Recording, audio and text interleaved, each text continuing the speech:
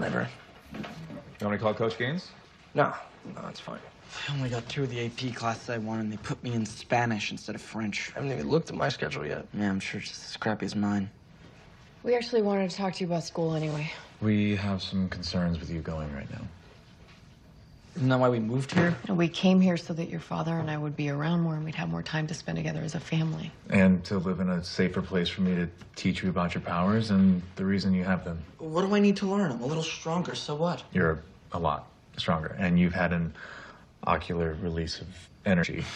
A what? Is that seriously what it's called? Doesn't matter what it's called, he almost hurt a bunch of kids. It was an accident. I don't even know how it happened. That's exactly our point. So I'm just not gonna go to school? Until we know how to keep it from happening again, yes. Why can't I just have one of those beeper things mom has in case something goes wrong? An ELT is not the solution, Jordan. You know what? I thought coming here would be a chance to start over, but I guess I'm just gonna be a freak like always. Feels like home already. I need to talk to Eliza.